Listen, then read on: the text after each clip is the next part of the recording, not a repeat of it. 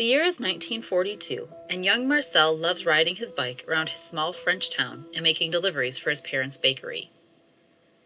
He dreams of riding in the Tour de France, the greatest bicycle race in the world. But those dreams are on hold since Germany has occupied his country for the last two years.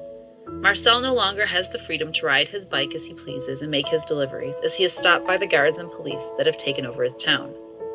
Marcel soon discovers that his bakery deliveries are more important than he ever imagined, and that the new student in his class is in danger. He knows he can help his friend, but it requires Marcel to take a dangerous trip and pass on secret information. Can Marcel save a whole family with his bike and some quick thinking? Find out in The Bicycle Spy, a Texas Bluebonnet Award nominee.